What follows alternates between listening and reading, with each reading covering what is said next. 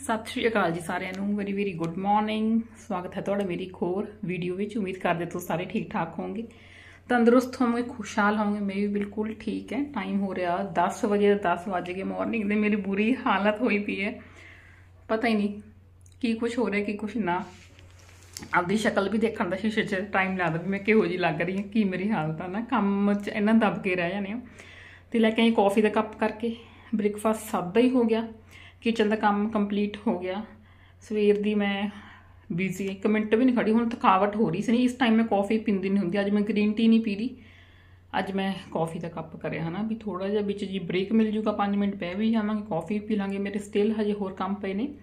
ਸਵੇਰ ਤੋਂ ਹੁਣ ਤੱਕ ਮੈਂ ਕਿਚਨ ਦਾ ਕੰਮ ਹੀ ਕਰਿਆ, ਸਬਜ਼ੀ ਬਣਾਈ ਸੀ ਅੱਜ ਵਾਈਟ ਚਣਿਆਂ ਦੀ ਉਹ ਤੇ ਵੀ ਟਾਈਮ ਲੱਗ ਜਾਂਦਾ। ਇੱਕ ਲਾਈਟ ਨਹੀਂ ਸੀ, ਰਾਤ ਦੀ ਲਾਈਟ ਗਈ ਸੀ। ਸਵੇਰੇ ਵੀ ਉੱਠੇ ਜਨਰੇਟਰ ਚਲਾ ਕੇ ਇੱਕ ਦੋ ਕੰਮ ਕਰਿਆ, ਜਿਹੜੇ ਬਿਜਲੀ ਵਾਲੇ ਕੰਮ ਸੀਗੇ। ਕਿਚਨ ਦਾ ਕੰਮ ਹੋ ਗਿਆ ਸੌਦਾ ਪੱਤਾ ਸੰਭਾਲਿਆ, ਉਹ ਸੰਭਾਲਤਾ। ਤੇ ਹਲੇ ਮੈਂ ਆਪਣੇ ਬੈਡਰੂਮ ਦੀ ਅੱਜ ਬੈੱਡਸ਼ੀਟ ਚੇਂਜ ਕਰਨੀ ਆ ਡਸਟਿੰਗ ਕਰਨੀ ਆ, ਫਿਰ ਮੈਂ ਸੋਚਿਆ ਬੈੱਡਸ਼ੀਟ ਚੇਂਜ ਕਰੂੰਗੀ ਬੈੱਡ ਚੋਂ ਗਰਮ ਕੱਪੜੇ ਵੀ ਕੱਢ ਦੂੰਗੀ, ਹਨਾ। ਟਕਾ ਚਾਹੇ ਮੈਂ ਕੱਪੜਾਂ 'ਚ ਫੇਰ ਦਵਾਂ ਕੱਢ ਕੇ ਇੱਕ ਵਾਰ ਦੂਜੇ ਰੂਮ 'ਚ ਮੈਂ ਰੱਖ ਦੂੰਗੀ, ਉਹ ਕੱਢੂੰਗੀ ਬੈੱਡ ਵਿੱਚੋਂ। ਤੇ ਗਰਮੀਆਂ ਵਾਲੇ ਕੁਝ ਕੱਢੇ ਪਏ ਨੇ ਜਾਂ ਕੱਢ ਲੂੰਗੀ ਮੌਕੇ ਤੇ ਪਤਾ ਲੱਗ ਜੇ ਉਹ ਟਕਾ ਦੂੰਗੀ। ਇਸ ਤਰ੍ਹਾਂ ਮੈਂ ਕੱਪੜਿਆਂ ਦੀ ਸੈਟਿੰਗ ਕਰਨੀ ਹੈ ਉਹ ਮੇਰਾ ਕੰਮ ਰਹਿ ਗਿਆ ਰੂਮ ਦੀ ਡਸਟਿੰਗ ਰਹਿ ਗਈ। ਕਿਚਨ ਚੋਂ ਬਾਹਰ ਲੌਬੀ 'ਚ ਮੇਰਾ ਸਾਰਾ ਕੰਮ ਡਨ ਹੈ ਬਸ ਰੂਮ ਦਾ ਰਹਿ ਗਿਆ ਮੇਰਾ ਕਰਨ ਵਾਲਾ। ਇਹ ਕਰੂੰ ਕਾਫੀ ਪੀ ਲਈ ਥੋੜੀ ਥਕਾਵਟ ਉਤਾਰ ਲਈ 5 ਮਿੰਟ ਰੈਸਟ ਕਰ ਲਈ ਉਸ ਤੋਂ ਬਾਅਦ ਫਿਰ ਕਰਦੇ ਆਪਾਂ ਅਗਲੇ ਕੰਮ। ਐਨੇ ਤੁਸੀਂ ਸਵੇਰ ਦੀ ਮੇਰਾ ਵਲੌਗ ਦੇਖ ਲਓ ਵੀ ਸਵੇਰ ਤੋਂ ਮੈਂ ਕੀ ਕੁਝ ਸ਼ੂਟ ਕੀਤਾ, ਕੀ ਕੰਮ ਹੋ ਗਏ। ਭੱਜ ਦੌੜ ਬਹੁਤ ਬਹੁਤ ਰਹਿੰਦੀ ਹੈ, ਸਵੇਰੇ ਸਵੇਰੇ ਬਹੁਤ ਭੱਜ ਦੌੜ ਹੁੰਦੀ ਹੈਗੀ। ਚਲੋ ਜੀ, ਹੁਣ ਕਰਦੇ ਆਪਾਂ ਆਪਣੀ ਕਾਫੀ ਇੰਜੋਏ ਕੱਲ ਅਸੀਂ ਡੀਮਾਰਟ ਚੋਂ ਲੈ ਕੇ ਆਏ ਸੀ ਰਾਸ਼ਨ। ਤੋਂ ਰਾਸ਼ਨ ਲਿਆ ਕੇ ਕੱਲ ਮੈਂ ਝੋਲਿਆਂ ਚੋਂ ਕੱਢ ਕੇ ਇੱਕ ਵਾਰ ਟੇਬਲ ਤੇ ਅਲੱਗ-ਅਲੱਗ ਕਰਕੇ ਰੱਖਤਾ ਤਾਂ ਕਿ ਜਦੋਂ ਮੈਂ ਸੰਭਾਲਣਾ ਮੈਨੂੰ ਈਜ਼ੀ ਰਵੇ, ਇੱਕੋ ਜਿਹੀ ਚੀਜ਼ਾਂ ਇੱਕ ਇੱਕ ਅਲੱਗ-ਅਲੱਗ ਕਰਕੇ ਮੈਂ ਰੱਖਤੀਆਂ। ਜਿਵੇਂ ਇੱਧਰ ਹੈਗੀ ਰੀ ਓਟਸ ਪੋਹਾ ਤੇ ਇਹ ਸਾਰੀਆਂ ਦਾਲਾਂ ਆ ਗਈਆਂ ਚਣੇ ਅ, ਕੁਛ ਆਹ ਚਿਪਸ ਜੇ ਸੀ ਉਹ ਅਸੀਂ ਫਸਟ ਟਾਈਮ ਟਰਾਈ ਕਰ ਰਹੇ ਹਾਂ ਉਹ ਲੂਜ਼ ਦਾਲਾਂ ਅਸੀਂ ਘੱਟ ਲੈ ਕੇ ਆਉਂਦੇ ਹਾਂ ਪਰ ਐਤਕੀ ਥੋੜੇ ਜ਼ਿਆਦਾ ਲਿਆਂਦੇ ਨੇ ਇੱਕ ਦੋ ਤਰ੍ਹਾਂ ਦੇ ਚਾਵਲ ਲਿਆਂਦੇ ਨੇ ਫੋਰ ਸੈਂਪਲ ਕਿ ਦੇਖਾਂ ਕਿਵੇਂ ਬਣਦੇ ਨੇਗੇ ਕਾਲੇ ਚਣੇ ਚਿੱਟੇ ਚਣੇ ਰਾਜਮਾ ਸਾਬਤ ਧਨੀਆ ਹੋ ਗਿਆ ਤੇ ਇਸ ਤਰ੍ਹਾਂ ਦੇ ਕੁਛ ਇਹ ਰਾਸ਼ਨ ਪਾਣੀ ਸੀਗਾ ਜੋ ਘਰੇ ਲਿਆਉਣ ਵਾਲਾ ਹੋਇਆ ਪਿਆ ਸੀ ਤਕਰੀਬਨ ਸਾਰਾ ਹੀ ਰਾਸ਼ਨ ਲਿਆਉਣ ਵਾਲਾ ਹੋਇਆ ਪਿਆ ਸੀ ਇਸ ਵਾਰੀ ਤਾਂ। ਜੀਰਾ ਅਜਵੈਨ ਲੌਂਗ ਇਲਾਇਚੀ ਅਲਸੀ ਹੋ ਗਈ, ਸੌਂਫ, ਇਹ ਸਮਾਨ ਹੋ ਗਿਆ। ਸੋਆ ਸਟਿਕਸ ਹੋ ਗਈਆਂ। ਅੱਗੇ ਅਸੀਂ ਬਿਸਕਟਸ ਬਹੁਤ ਲੈ ਕੇ ਆਉਂਦੇ ਹੁੰਦੇ ਪਰ ਇਸ ਵਾਰ ਬਿਸਕਟਸ ਬਹੁਤ ਬਹੁਤ ਘਟਾਏ ਨੇ। ਸ਼ੱਕਰ, ਗੁੜ, ਅਖਰੋਟ ਹੋ ਗਏ ਮਸਾਲੇ, ਬੂੰਦੀ। ਬੂੰਦੀ ਜਿਹੜੀ ਆ ਵਾਲੀ ਬਾਈ 1 ਗੈਟ 1 ਹੁੰਦੀ ਹੈ ਟੇਸਟ ਬਹੁਤ ਵਧੀਆ, ਸਾਨੂੰ ਫਿੱਟ ਬੈਠਿਆ ਹੋਇਆ ਹੈਗਾ। ਨਾ ਕਿਸੇ ਤਰ੍ਹਾਂ ਦੀ ਹੌਂਕ ਨਾ ਕਿਸੇ ਤਰ੍ਹਾਂ ਦਾ ਫਲੇਵਰ ਬਹੁਤ ਹੀ ਟੇਸਟ ਸਾਨੂੰ ਵਧੀਆ ਲੱਗਦਾ ਆ ਵਾਲੀ ਬੂੰਦੀ ਦਾ।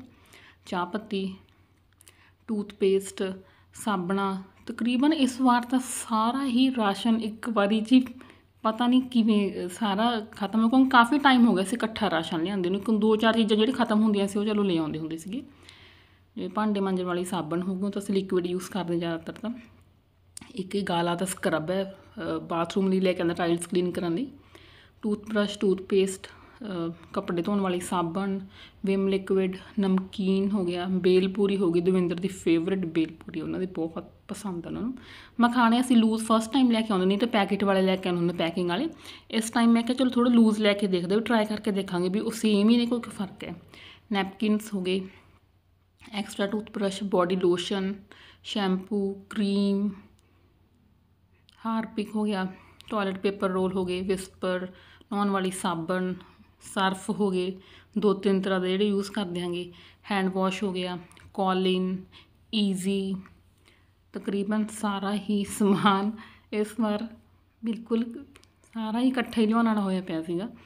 ਸੋਆ ਚੰਕਸ ਹੋ ਗਏ, ਜਿਵੇਂ ਹੁਣ ਅੱਗੇ ਸਰਦੀ ਆਊਗੀ, ਸਬਜ਼ੀਆਂ ਹੋਣਗੀਆਂ, ਗਾਜਰ, ਮਟਰ ਪਲਾਉ 'ਚ ਪੈ ਜਾਂਦੇ ਹੋ ਸਬਜ਼ੀ ਤਾਂ ਅਸੀਂ ਘੱਟ ਪਸੰਦ ਕਰਦੇ ਨੇ ਪਲਾਉ 'ਚ ਪਾ ਕੇ ਖਾ ਲੈਂਦੇ ਆਂਗੇ ਜਾਂ ਖਿਚੜੀ 'ਚ ਪਾ ਲਓ ਜਾਂ ਪਲਾਉ 'ਚ ਪਾ ਲਓ। ਇਹ ਸਾਰਾ ਰਾਸ਼ਨ ਹੁਣ ਮੈਂ ਰਾਤ ਅਲੱਗ-ਅਲੱਗ ਕਰਕੇ ਰੱਖਦਾ ਸੀ, ਪਰ ਸੰਭਾਲ ਲੂੰਗੀ ਹੁਣ। ਇੱਕ ਵਾਰ ਮੈਂ ਅਲੱਗ-ਅਲੱਗ ਕਰਕੇ ਰੱਖਦਾ ਨਹੀਂ ਹੁੰਦੀ ਆ ਤਾਂ ਕਿ ਮੈਨੂੰ ਫਿਰ ਸੰਭਾਲਣਾ ਈਜ਼ੀ ਰਵੇ ਹੈ ਨਾ ਜਿਵੇਂ ਬਾਥਰੂਮ ਵਾਲਾ ਸਮਾਨ ਇੱਕ ਸਾਈਡ ਰੱਖਤਾ ਗਰੋਸਰੀ 'ਚ ਆਪਣੀ ਪੈਂਟਰੀ 'ਚ ਰੱਖਣ ਵਾਲਾ ਸਮਾਨ ਇੱਕ ਸਾਈਡ ਰੱਖਤਾ, ਕੋਈ ਬਿਸਕਿਟ, ਨਮਕੀਨ ਸਨੈਕਸ ਨੂੰ ਅਲੱਗ ਇੱਕ ਸਾਈਡ ਲਗਾਤੀ, ਮੈਨੂੰ ਚੱਕ ਕੇ ਸੰਭਾਲਣਾ ਈਜ਼ੀ ਹੋ ਜਾਂਦਾ। ਇਹ ਵਾਲੀ ਕਬਰ 'ਚ ਮੈਂ ਰੱਖਦੀ ਹੁੰਦੀ ਆਪਣਾ ਸਰਫ ਸਾਬਣ ਸੋਡਾ, ਇਹ ਡੱਬੇ ਵਿੱਚ ਪਾ ਕੇ ਰੱਖਦੇ ਡੱਬਾ ਇਸ ਵਾਰ ਬਿਲਕੁਲ ਹੀ ਖਾਲੀ ਸੀਗਾ। ਮੈਂ ਕਿਹਾ ਚਲ ਕੈਬਨਿਟ ਅੰਦਰੋਂ ਸਾਫ਼ ਕਰ ਦਿੰਦੇ ਵੈਸੇ ਮੈਂ ਸਾਰੀ ਕਬੜ ਹੀ ਕਲੀਨ ਕਰਨ ਵਾਲੀ ਸੀਗੀ ਮੇਰੀ। ਮੈਂ ਕਰੀ ਨਹੀਂ ਹੈਗੀ। ਪਿਛਲੇ ਸਾਲ ਦਿਵਾਲੀ ਵੇਲੇ ਦੀ ਕਰੀ ਹੋਈ, ਕਿਉਂਕਿ ਇੰਨਾ ਜ਼ਿਆਦਾ ਇਹ 'ਚ ਖਲਾਰਾ ਨਹੀਂ ਪੈਂਦਾ, ਪਰ ਸਟਿਲ ਸੈਟਿੰਗ ਉੱਪਰ ਨੀਚੇ ਹੋ ਜਾਂਦੀ ਆ। ਫਿਰ ਮੈਂ ਕਿਹਾ ਚਲ ਇੱਕ ਖਾਣਾ ਤਾਂ ਮੈਂ ਖਾਲੀ ਕਰਾਂ। ਫਿਰ ਹੁਣ ਬਾਕਸ ਮੈਂ ਰੱਖੂੰਗੀ ਭਰ ਕੇ, ਫਿਰ ਮੈਨੂੰ ਦੁਬਾਰੇ ਫਿਰ ਕੱਢਣਾ ਪਊਗਾ।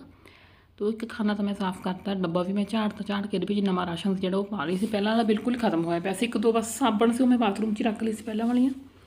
ਤੇ ਇਹਦੇ ਵਿੱਚ ਸਾਰਾ ਜਿਹੜਾ ਸਰਫ ਹੈਂਡ ਵਾਸ਼ ਹੈ ਟੂਥਪੇਸਟ ਹੈ ਐਕਸਟਰਾ ਸੋਪਸ ਨੇ ਸਕਰਬ ਨੇ, ਇਹਦੇ ਵਿੱਚ ਮੈਂ ਇੱਕ ਡੱਬੇ 'ਚ ਪਾ ਕੇ ਰੱਖ ਦਿੰਦੀ ਹੁੰਦੀ ਆ ਤੇ ਖਿਲਰਦਾ ਨਹੀਂ ਹੈਗਾ, ਖਲਾਰਾ ਜਿਹਾ ਨਹੀਂ ਪੈਂਦਾ ਹੈਗਾ, ਡੱਬੇ 'ਚੋਂ ਚੱਕਣਾ ਵੀ ਮੈਨੂੰ ਤਾਂ ਈਜ਼ੀ ਲੱਗਦਾ ਹੈਗਾ ਵੀ ਠੀਕ ਹੈ ਡੱਬੇ ਵਿੱਚ ਪਿਆ ਸਮਾਨ ਹਨਾ, ਉੱਥੋਂ ਤੁਸੀਂ ਚੱਕ ਲਓ, ਸਾਰੇ ਫੈਮਿਲੀ ਮੈਂਬਰਸ ਨੂੰ ਪਤਾ ਹੀ ਹੁੰਦਾ ਵੀ ਇੱਕ ਜਗ੍ਹਾ ਆਹ ਸਮਾਨ ਪਿਆ ਹੈਗਾ। ਔਰ ਖਾਣ ਵਾਲੀਆਂ ਚੀਜ਼ਾਂ ਤੋਂ ਮੈਂ ਇਹ ਚੀਜ਼ਾਂ ਦੂਰ ਰੱਖਦੀ ਹੁੰਦੀ ਤਾਂ ਕਿ ਸਮੈਲ ਨਾ ਇੱਕ ਦੂਜੇ ਦੇ ਵਿੱਚ ਆਵੇ ਨਹੀਂ ਖਾਣ ਵਾਲੀਆਂ ਚੀਜ਼ਾਂ ਦਾਲਾਂ 'ਚ ਮਸਾਲਿਆਂ 'ਚ ਸਮੈਲ ਆ ਗਈ, ਸਾਬਣ ਸੋਡੇ ਤੇ ਫਿਰ ਉਹ ਬਹੁਤ ਹੀ ਅਜੀਬ ਜਿਹਾ ਟੇਸਟ ਲੱਗਦਾ। ਤੇ ਹੁਣ ਆਪਣੇ ਐਕਸਟਰਾ ਡੱਬੇ ਵਿੱਚ ਮੈਂ ਇਹ ਰੱਖਦੀ ਹੁੰਦੀ ਆਪਣਾ ਗਰੋਸਰੀ ਦਾ ਸਮਾਨ ਬਿਕੋਜ਼ ਇੰਨੀ ਜ਼ਿਆਦਾ ਗਰੋਸਰੀ ਪੈਂਟਰੀ ਵਿੱਚ ਨਹੀਂ ਆਉਂਦੀ ਹੈਗੀ। ਫਿਰ ਮੈਂ ਇੱਕ ਡੱਬਾ ਅਲੱਗ ਲਾ ਕੇ ਰੱਖਦੀ ਹੁੰਦੀ ਹਾਂ, ਡੱਬੇ ਵਿੱਚ ਰੱਖ ਲੈਂਦੀ ਹਾਂ। ਡੱਬਾ ਫਿਰ ਉਹ ਪੌੜੀਆਂ ਦੇ ਨੀਚੇ ਕੈਬਨਿਟ ਵਿੱਚ ਰੱਖਦਾ ਨਹੀਂ ਹੁੰਦੀ ਹੈਗੀ। ਬੰਦ ਪੈਕੇਟਸ ਇਹਦੇ ਵਿੱਚ ਰੱਖਦੀ ਹਾਂ। ਜਿਹੜੇ ਖੁੱਲੇ ਪੈਕੇਟਸ ਲੈਫਟ ਓਵਰ ਰਹਿ ਜਾਂਦੇ ਨੇ, ਕੁਛ ਅੱਧੇ ਬਚੇ, ਉਹ ਮੈਂ ਪੈਂਟਰੀ ਵਾਲੇ ਡਰਾਅਰ 'ਚ ਰੱਖ ਲੈਂਦੀ ਹਾਂ। ਜਿਹੜੀ ਕੋਈ ਚੀਜ਼ ਰੀਫਿਲ ਕਰਨ ਵਾਲੀ ਹੋਊਗੀ ਡੱਬੇ ਵਿੱਚ, ਕਈ ਚੀਜ਼ਾਂ ਇਹੋ ਜਿਹੀਆਂ ਸੀ, ਬਿਲਕੁਲ ਹੀ ਖਤਮ ਸੀ। ਜਿਹੜੀਆਂ ਡੱਬੇ ਵਿੱਚ ਰੀਫਿਲ ਕਰਨ ਵਾਲੀਆਂ ਸੀ ਉਹ ਮੈਂ ਪੈਨ ਟ੍ਰੇਲ ਡਰੋ 'ਚ ਰੱਖ ਲੂੰਗੀ ਤਾਂ ਕਿ ਜਦੋਂ ਮੇਰਾ ਟਾਈਮ ਲੱਗੂ, ਮੈਂ ਫਿਰ ਰੀਫਿਲ ਕਰੂੰਗੀ। ਹਜੇ ਹੁਣ ਤਾਂ ਰੀਫਿਲ ਦਾ ਮੈਂ ਸੋਚ ਨਹੀਂ ਸਕਦੀ ਵੀ ਇੰਨੀ ਬਿਜ਼ੀ ਸੀ। ਸਾਰਾ ਸਮਾਨ ਸੰਭਾਲਣਾ, ਫਿਰ ਸਵੇਰੇ ਮੈਂ ਕਿਚਨ ਦੀ ਕਿਚਨ ਦਾ ਵੀ ਕੰਮ ਕਰਿਆ ਕੁਕਿੰਗ ਦਾ ਨਾ, ਦਾਲ ਸਬਜ਼ੀ ਬਣਾਈ, ਆਟਾ ਗੁੰਨਿਆ। ਉਸ ਤੋਂ ਬਾਅਦ ਫਿਰ ਮੈਂ ਰਾਸ਼ਨ ਸੰਭਾਲਣ ਲੱਗ ਗਿਆ ਕਿਚਨ ਦਾ ਕੰਮ ਕਰਕੇ। ਜੇ ਪਹਿਲਾਂ ਰਾਸ਼ਨ ਸੰਭਾਲਦੀ, ਫਿਰ ਕਿਚਨ ਦਾ ਕੰਮ ਮੇਰਾ ਸਾਰਾ ਹੀ ਲੇਟ ਹੋ ਜਾਣਾ ਸੀਗਾ।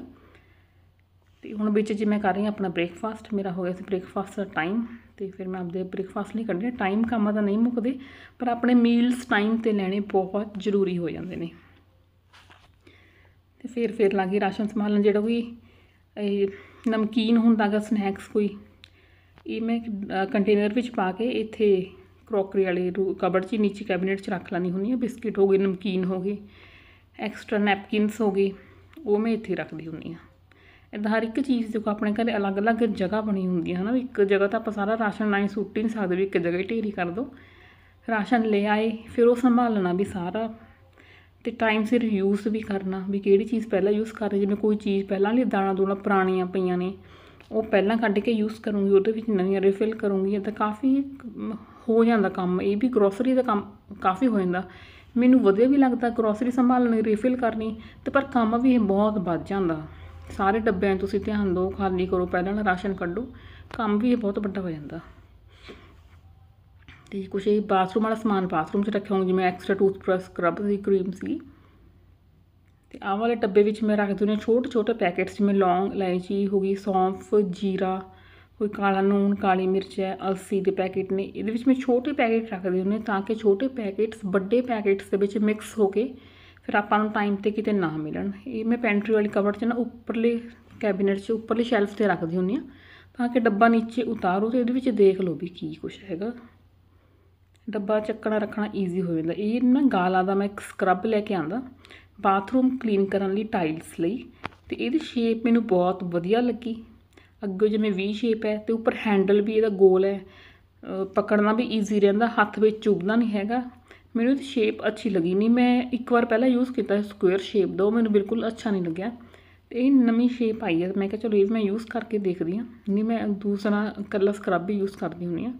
ਪਰ ਇਹ ਹੈਂਡਲ ਵਾਲਾ ਮੈਂ ਦੂਜੀ ਵਾਰ ਲੈ ਕੇ ਆ ਰਹੀ। ਇੱਕ ਵਾਰ ਤਾਂ ਮੈਂ ਲੈ ਕੇ ਆਈ ਇਸ ਵਾਰ ਮੇਰਾ ਐਕਸਪੀਰੀਅੰਸ ਵਧੀਆ ਨਹੀਂ ਰਿਹਾ। ਮੈਨੂੰ ਇਹ ਠੀਕ ਲੱਗਿਆ ਵੀ ਇਹਦਾ ਹੈਂਡਲ ਵੀ ਗੋਲ ਹੈ, ਪਕੜਨਾ ਈਜ਼ੀ ਹੈ।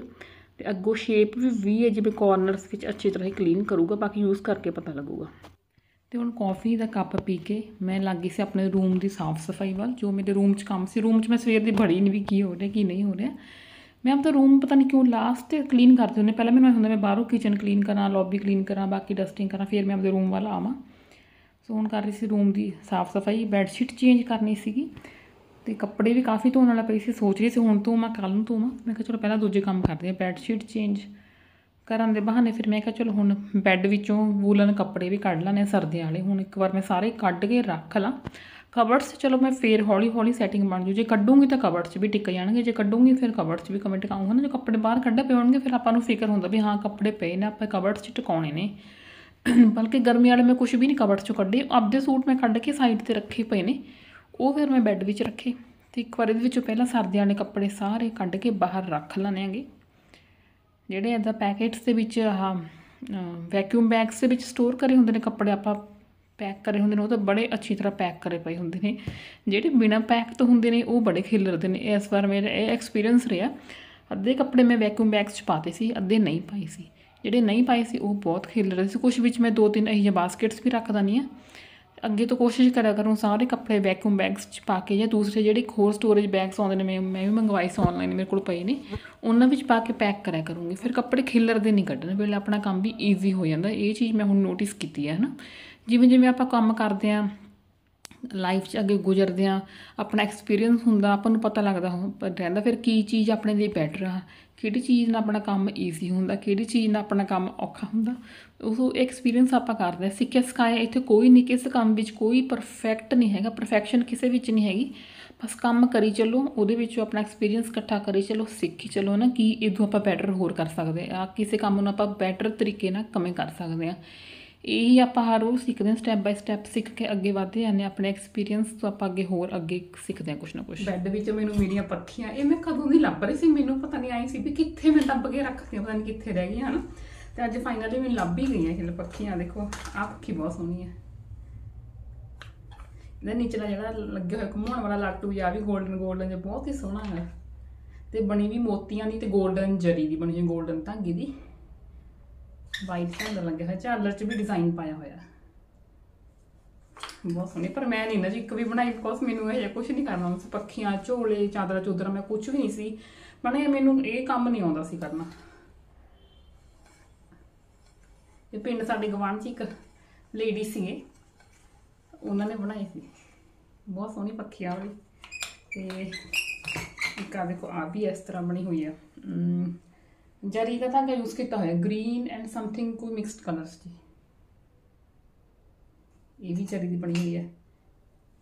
ਇਹ ਵੀ ਇੱਕ ਯਾਦਾਂ ਰਹਿ ਗਈਆਂ। ਉਸ ਟਾਈਮ ਤਾਂ ਬਿਜਲੀ ਨਹੀਂ ਆਉਂਦੀ ਸੀ, 24 ਘੰਟੇ ਵਾਲੀ ਬਿਜਲੀ ਹੈ ਨਹੀਂ ਸੀ ਉਦੋਂ ਪੱਖੀਆਂ ਯੂਜ਼ ਕਰਦੇ ਸੀ।